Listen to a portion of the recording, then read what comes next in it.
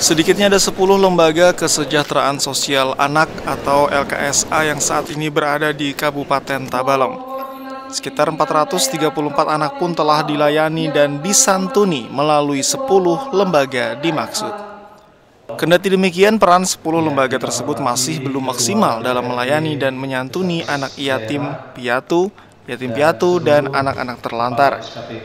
Untuk itu, Dinas Sosial Tabalong berencana menambah pembangunan lembaga kesejahteraan sosial anak non-panti. Pembangunan difokuskan pada beberapa kecamatan yang belum memiliki lembaga kesejahteraan sosial anak non-panti, seperti Kecamatan Muara Uya, Harwai, Bintang Ara, dan Muara Harus.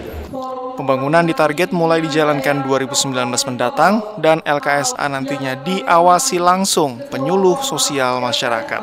Ada beberapa kecamatan yang belum punya lembaga kesejahteraan sosial anak non panti, misalnya di Muara Uya. Kalau Jaru sudah ada panti asuhan di Jaru di Madonia. Kemudian di Harwai juga belum, di Tara belum. Nah, kalau keluar sudah ada, Benolawas juga belum. Muara Harus belum. Nah ini tahun depan kita minta di sana membuat lembaga sosial baru sehingga anak-anak yatim, anak terlantar yang dipelihara oleh neneknya, yang notabene neneknya adalah keluarga tidak mampu.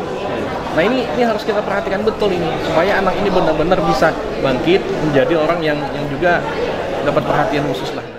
Sementara ini setiap anak yang berada di lembaga kesejahteraan sosial anak LKSA perharinya mendapatkan uang saku Rp15.000 dan anak juga difasilitasi pakaian sekolah, pakaian ibadah, dan fasilitas penunjang kebutuhan anak lainnya. Purnama Sari TV Tabalong melaporkan.